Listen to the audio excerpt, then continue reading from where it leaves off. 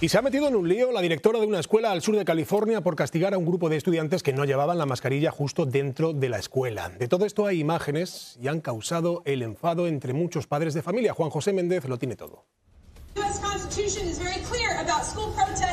En el video se observa a la directora reprender a los estudiantes que se negaron a usar mascarilla dentro de la escuela intermedia en Norco, California. De acuerdo a los estudiantes, fueron disciplinados y madres de familia creen que la polémica continuará.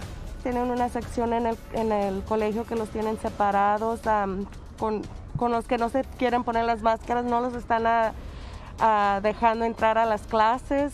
I have asthma and I can't wear the mask. En el video grabado por una de las estudiantes se logra escuchar a una niña decir que tiene asma y que no puede usar cubrebocas. A lo que la principal le responde que obtenga una nota del doctor. Frente a esta situación, le solicitamos a la directora una entrevista o un comunicado, pero hasta el momento no respondió a nuestro llamado. El incidente enfureció a padres de familia que terminaron protestando contra la escuela de Norco y el distrito escolar. Necesitamos un mandato para dejar que todos los estudiantes no usen mascarilla nunca más, aseguró esta madre.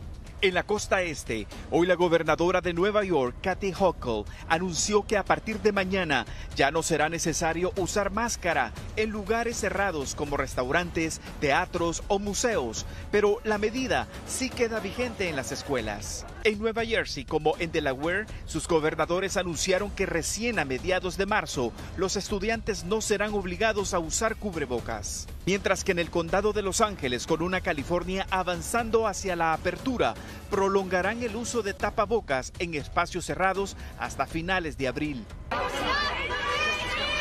En Chicago, padres de familia de una escuela católica protestaron contra el uso de cubrebocas y hoy el gobernador de Illinois, Pritzker, informó que a partir del 28 de febrero se levantará el uso de mascarillas sin excepciones. Yo pienso que debe uno de proteger a los hijos en las escuelas.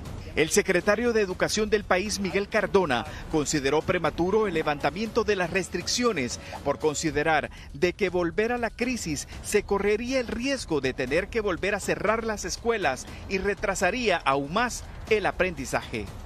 Cabe mencionar que más del 60% de los 500 distritos más grandes aún requieren el uso de cubrebocas, como en esta escuela, en Norco, California. Juan José Méndez regreso al estudio. Gracias, Juanjo. Pues hablando del uso de la mascarilla en las escuelas, miren, acorde a una encuesta de los CDC, de 169 escuelas, por ejemplo, en Georgia, las que obligan al uso de la mascarilla conseguían un 21% menos de casos de coronavirus que aquellas donde son solamente una opción.